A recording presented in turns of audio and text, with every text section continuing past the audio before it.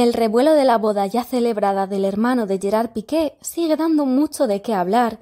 y de ella hemos podido conocer muchos detalles, algunos muy evidentes, como que Milan y Sasha no acudirían al evento, que la familia Piqué estaba muy molesta con Shakira y que Clara Chia se sentaría lejos de la familia Piqué, aunque finalmente, ante la no visita de los pequeños, sí que la han acabado sentando en la mesa presidencial.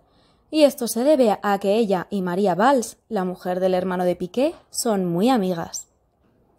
Esta situación ha generado mucho revuelo y ha hecho que, quizás, Shakira haya dicho que no a la presencia de sus hijos en la boda, una boda que le genera muchas sensaciones amargas, ya que se siente traicionada por toda la familia.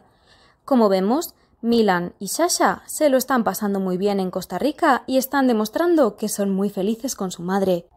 Aunque lo que realmente llama hoy la atención es el impactante mensaje que ha lanzado Shakira, que de alguna manera destruye el futuro compromiso entre Clara y Gerard Piqué. Este mensaje no ha sido lanzado literalmente por ella, pero de fondo sí que ha quedado señalado el exfutbolista. El mensaje en cuestión ha sido lanzado realmente por el periodista Jordi Martín, quien ha asegurado que Gerard Piqué estuvo durante 13 años engañando a Shakira casi todas las noches que salía con sus amigos, pese a que ésta hubiera sacrificado su felicidad y dejado de un lado su carrera solo para pasar su vida con él, un sacrificio que fue pagado con una infidelidad tras otra. Jordi Martín ha destapado una conversación bomba con el entorno de Shakira, concretamente con una de las personas que más quiere a la cantante, su hermano Tonino, quien un día le preguntó por la cantidad de infidelidades que carga su hermana y cuya respuesta fue que prácticamente Gerard Piqué podría haberse acostado con media Barcelona. Una larga lista de mujeres dejan en un pésimo lugar al exjugador como esposo y como padre de familia, y que nos lleva a cuestionarnos si realmente esto es lo que quiere Clara Chía en su vida, pues es el peor historial que puede tener una persona con la que te vas a casar.